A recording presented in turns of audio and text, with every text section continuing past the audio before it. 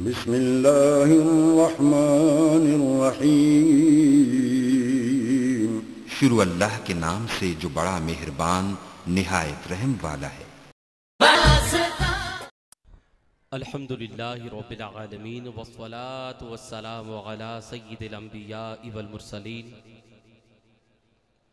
اما بعد فاعوذ باللہ من الشیطان الرجیم بسم اللہ الرحمن الرحیم۔ وَأَمَّا بِنِعْمَةِ رَبِّكَ فَحَدِّثْ. صدق اللہ العظیم یا صاحب الجمال و یا سید البشر. من وجهك المنیر لقد نور القمر.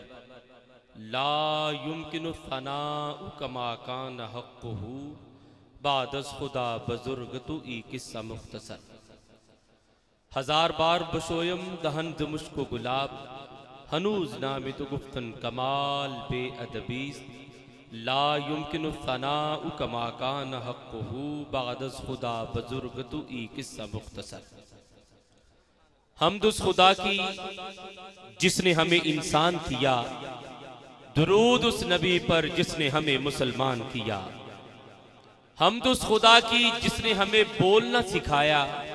درود اس نبی پر جس نے ہمیں کلمہ پڑھایا۔ حمد اس خدا کی جس نے ہمیں ایمان دیا، درود اس نبی پر جس نے ہمیں قرآن دیا۔ حمد اس خدا کی جس نے انسانوں کو رنگ برنگا بنایا، درود اس نبی پر جس نے سب کو ایک رنگ کیا۔ حمد الجبار و کہار کی جس نے جہنم کو بڑکایا درود اس شفیع روز شمار پہ جس نے بڑکتے ہوگے کو بجایا۔ درود اس نبی پر جس نے کہا، لا الہ الا اللہ اور حمد اس خدا کی جس نے کہا محمد رسول اللہ صلی اللہ علیہ وسلم۔ تمام ہم اس خالق ازل کے لیے سکون جھیل کو دیتا ہے جو کمل کے لیے۔ میں ان کے نام سے کرتا ہوں ابتدائے کلام کہ جن کے نام فرشت و نبی سنبل کے لیے۔ انتہائی عقیدت، محبت، لجاجت و نیازمندی کے ساتھ میرے کہنے پر نہیں گنبد خضرہ کو تصور میں لاتے ہوئے، بلکہ جاگتی آنکھوں سے دیکھتے ہوئے۔ حدیعہ درود و سلام، بارگاہ خیر الارام بآواز بلند تلاوت کیجیے الصلاة والسلام علیکہ یا سیدی یا رسول اللہ، الصلاة والسلام علیکہ یا سیدی یا حبیب اللہ۔ جو دو سامنے کھڑے ہیں، گزارش کروں گا تشریف رکھیں۔ یہ سارا پنڈال، یہ سارا اہتمام آپ حضرات کے لیے ہی کیا گیا ہے۔ تو تماشائی بننے سے زیادہ بہتر ہے کہ نبی علیہ السلام کی غلامی کا تاؤ گلے میں پہنتے ہوئے حق کے بندگی ادا کریں بیٹھ جائیں۔ جہاں جگہ ملتی ہے تشریف رکھیں۔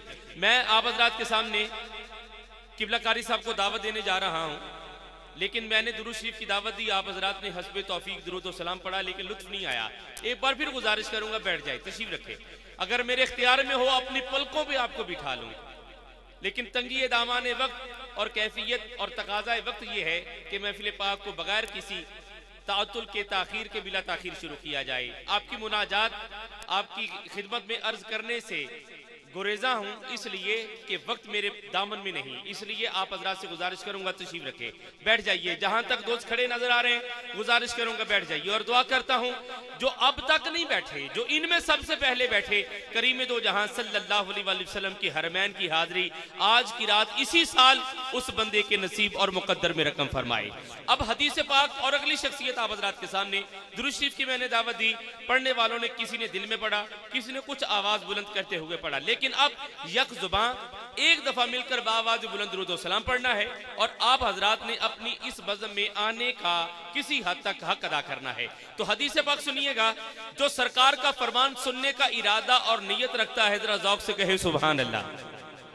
اگر میری بات ہو تو نظر انداز کی جا سکتی ہے۔ قبلہ راؤ صاحب کی بات ہو نظر انداز کی جا سکتی ہے۔ کسی زیاد بکر کی بات ہو نظر انداز کی جا سکتی ہے۔ لیکن یہ اس کی بات ہے کہ جس کی بات نظر انداز کرنے والا مسلمان ہی نہیں رہتا۔ تو میں کونین کے سلطان احمد مختار، جناب محمد مصطفیٰ صلی اللہ علیہ وآلہ وسلم کا فرمان عرض کرنے جا رہا ہوں، جو نبی کا ذکر، نبی کا فرمان، نبی کی حدیث سننے کی نیت رکھتا ہے اور اپنے کان گفتگو کی طرف، میرے اس کال کی طرف، میرے انداز کی طرف کیے ہوئے ہیں۔ دائیں ہاتھ فضا میں بلند کرتا ہوگا، سبحان اللہ گئے ماشاءاللہ، کثیر تعداد میں حدیث رسول سننے کا ارادہ رکھتے ہیں۔ تو جتنے حضرات نے ہاتھ کھڑا کیا، اب سنیے گا، سرکار فرماتے ہیں کہ میں اپنی اما کے صدف میں تھا، شکم میں تھا، بطن میں تھا، تو لاہ محفوظ پر چلنے والی قلم کی آواز کو سنا کرتا تھا۔ حدیث آپ نے سن لی۔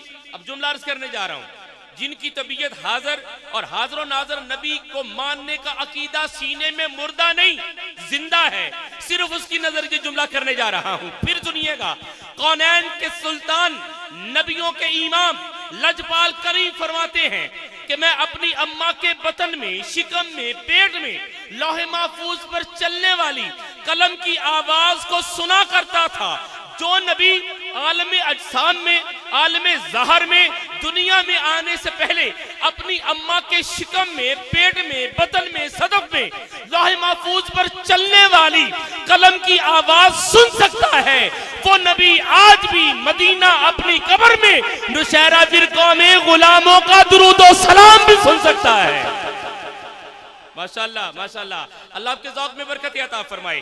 جس کا یہ یقین کہ کونین کے سلطان درود و سلام پڑھتے ہیں۔ اپنی آواز کو بلند کیجیے، دعا کرتا ہوں مولا، جو جتنی بلند آواز میں درود و سلام پڑھے، آج اس کا اتنا بخت بلند کر دے۔ ذوق سے پڑھ گیا الصلاة. السلام علیکم یا سیدی یا رسول اللہ۔ الصلاة والسلام علیکم یا سیدی یا حبیب اللہ الصلاة والسلام علیکم یا سیدی یا نبی اللہ وعلا علیکم وصحابک یا سیدی یا نور اللہ بندہ بندے کو سلام کا جواب دے تو نیکیاں ملتی ہیں. اور قونین کے سلطان جناب احمد مختار کو جب غلام سلام عرض کرتا ہے، پھر شب جمعہ ہے۔ اور سرکار نے فرمایا کہ جو جمعہ کو درود و سلام پڑھتا ہے، میں محمد سنتا بھی ہوں اور خود اس کا جواب بھی عطا کرتا ہوں۔ بندہ بندے کے سلام کا جواب دے تو نیکیاں ملتی ہیں۔ اور کونین کے سلطان جناب محمد مصطفیٰ، اگر سلام کا جواب عطا فرما دے تو اللہ جہنم سے بری کر دیا کرتا ہے۔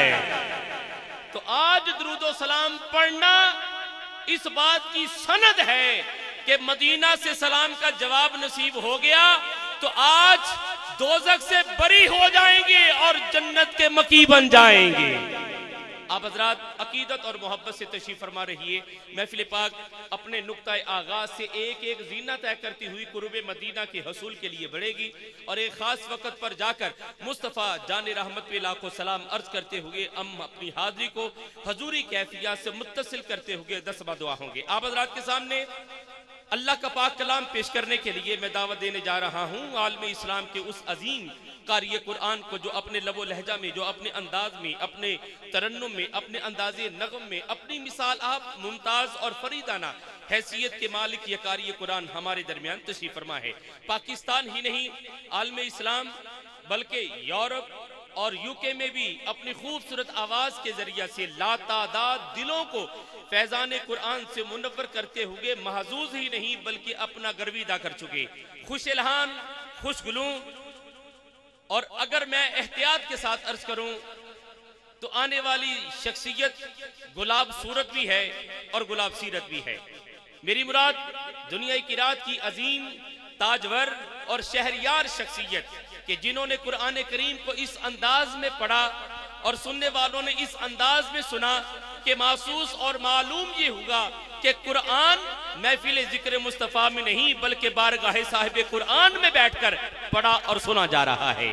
آئیے حاضری سے حضوری کی کیفیات سے متصل کر دینے والی عظیم خوش الہان، شخصیت واجب القدر، عزت معاب مخدوم محترم، مخدوم القرہ، زینت القرہ فخر القرہ فضیلت الشیخ، شیخ التجوید، المقری الشیخ کرامت علی نغیمی، آپ کی خدمت میں عرض کروں گا کہ بندہ نواز تشریف لائیں اور اپنی آواز میں موجود کرامت علی سے کام لیتے ہوئے دربار علی اور دربار علی سے مدینے کی گلی تک لیے چلیں جناب قبلہ کاری کرامت علی نغیمی صاحب۔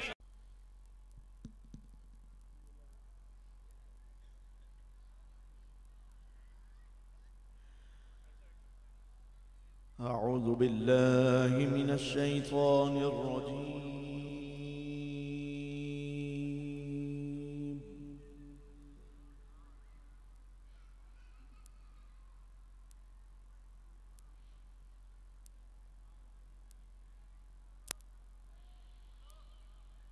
بسم الله الرحمن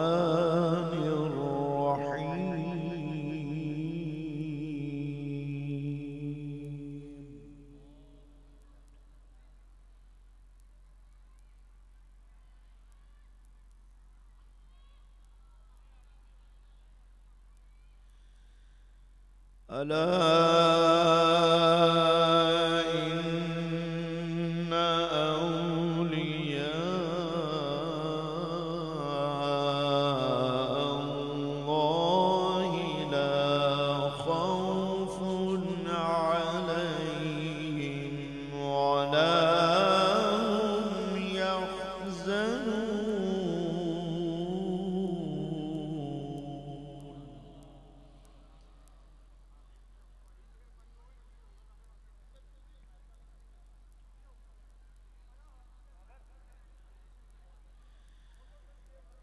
ألا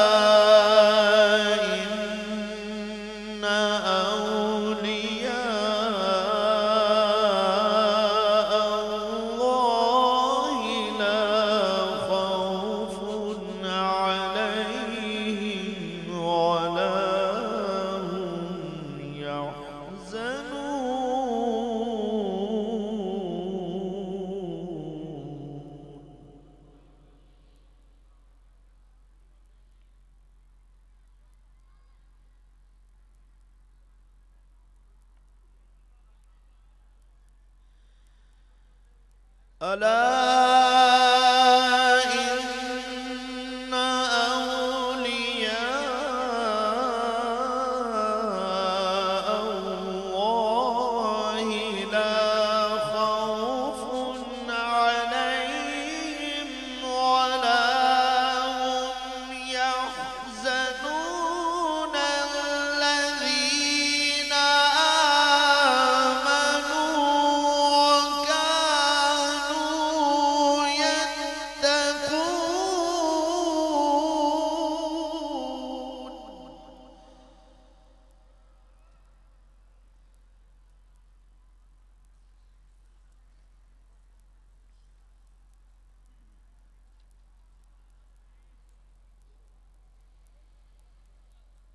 ألا